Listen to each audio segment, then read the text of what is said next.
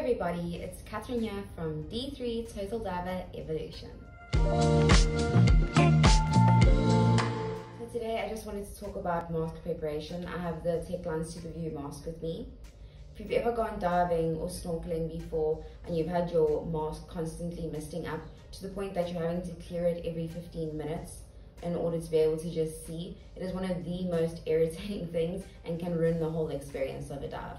And often it's because when you buy a new mask, you're so excited to use it and you don't realize that you actually need to prepare your mask before your first dive. So when your mask is being made, the manufacturer puts a releasing agent on the skirt of the mask so that they can remove the skirt from a mold without it tearing.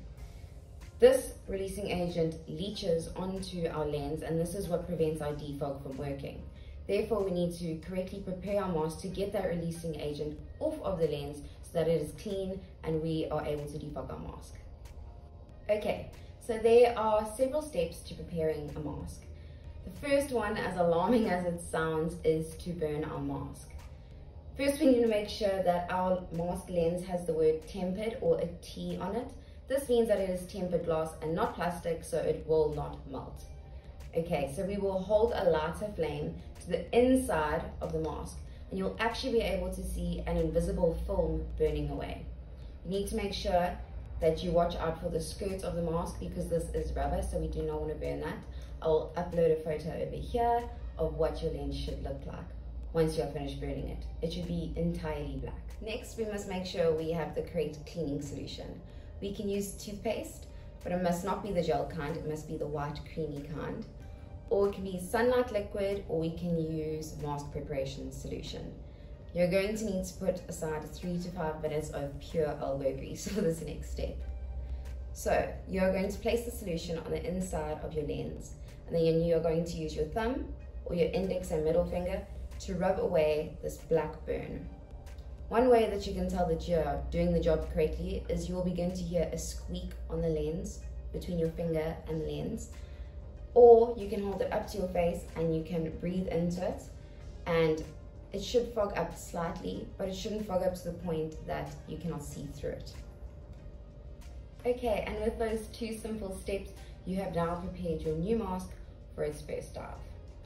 Lastly, I just want to chat about some tips for defogging before a dive, because although we have prepared our mask, we still need to prepare on our dive day. Okay, so we have the good old spit defog. and it's as simple as spit, rub and rinse and it works. But one thing you should know is that if your lens is not dry and is slightly wet or damp from a previous dive, it is likely that it will fog up on the next dive with that trick. But if you are stuck and you don't have defog, spit works just fine. Okay, and next we have our commercial defog, which is what I use and what we sell here at D3. It works wonders. If your mask is wet, it still works. You just put it in, rub it and rinse it and you are set to go. Okay, and next we have baby shampoo and sunlight liquid. And people swear by this. You just use the soapy solution, rub it, rinse it, same as all the others, and it works. One thing you must make sure of though is that you rinse it correctly, make sure it is all clean because if there's any condensation in your mask or any water gets in, if there is still soap left in the mask, it will go into your eyes and it will burn. So just make sure that you rinse properly, but it is an awesome alternative. Okay, and two last little tricks I have learned while diving is that it doesn't matter when you put your defog onto your lens, but you should rinse this defog off moments before climbing into the water. Not as you're shuffling around, still putting on gear, or as you get into the boat. It should be done just before you're about to enter the water.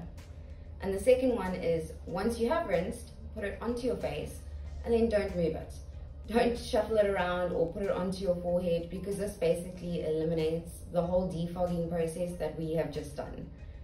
Okay, and with that, I just want to say thanks for watching. Please like, subscribe, comment, and share and I will see you in the next one. Bye!